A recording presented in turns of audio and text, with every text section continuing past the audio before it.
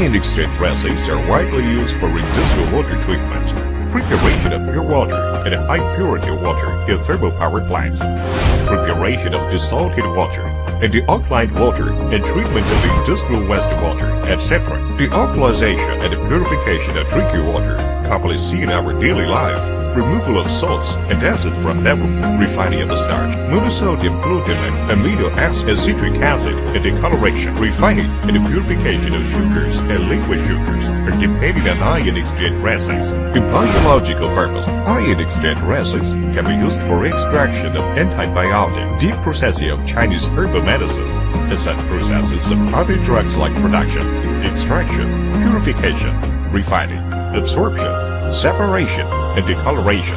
In hydrometallurgy, ion exchange resins are used for separation, extraction, and purification of rare metals.